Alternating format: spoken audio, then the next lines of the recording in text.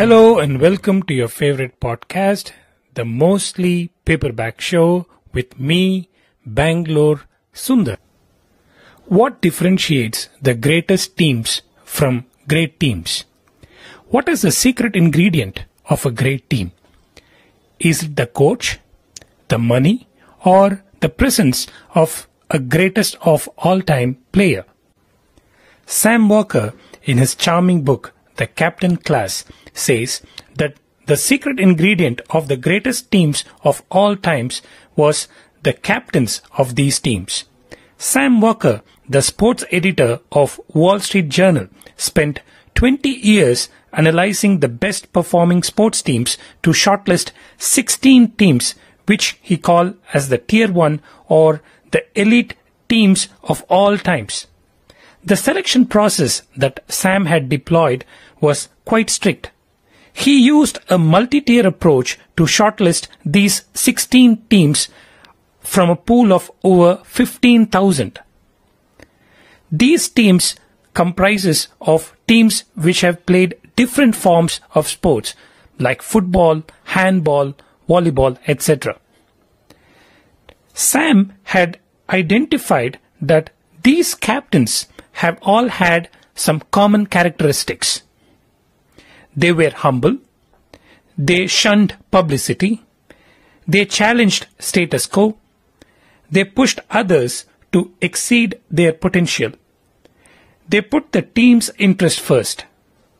They had high emotional quotient. They don't mind stretching the rules to win the matches.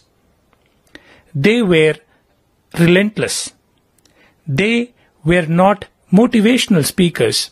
They were not leaders who gave locker room lectures to inspire their teams, but through their subtle gestures, they were able to inspire their teams to win matches.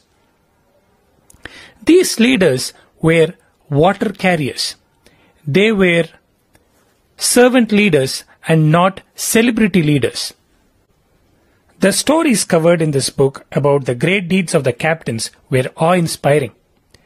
While captains like Buck Shelford, captain of the legendary All Blacks rugby team, or Valery Vassilev, the captain of the Soviet Union ice hockey team, they endured unimaginable physical pain to win matches.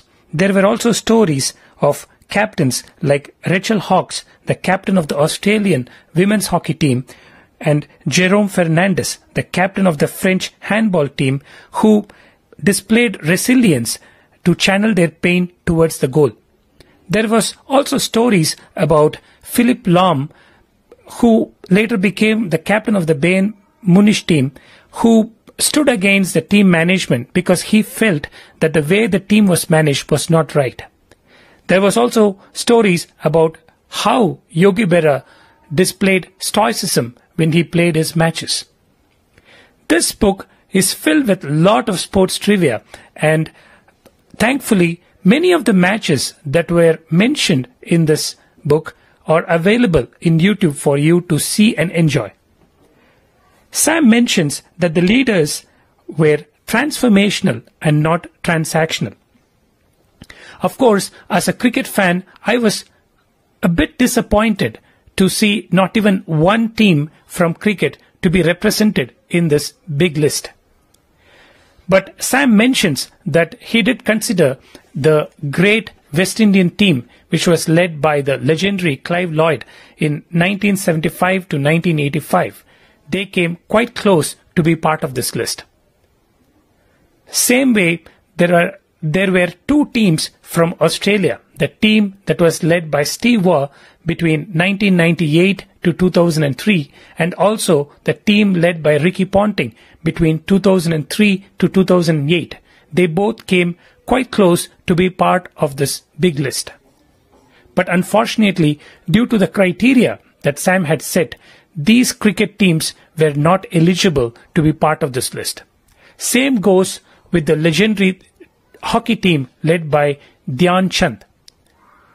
Because those, because that team did not had enough opportunity to